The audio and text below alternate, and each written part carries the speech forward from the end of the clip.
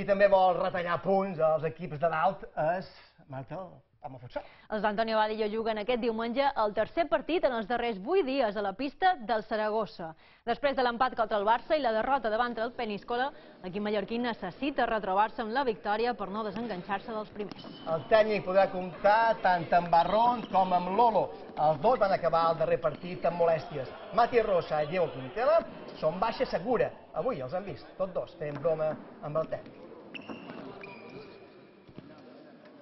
Que el domingo es un partido bastante importante para nosotros por lo, por lo que nos, nos, nos jugamos, ya que la última derrota pues no, no, nos ha alejado un poquito de los puestos de, de ahí arriba. Estamos en una época de, de temporada ya que no hay margen de error y no podemos permitirnos el lujo de estar tres partidos sin suma de tres.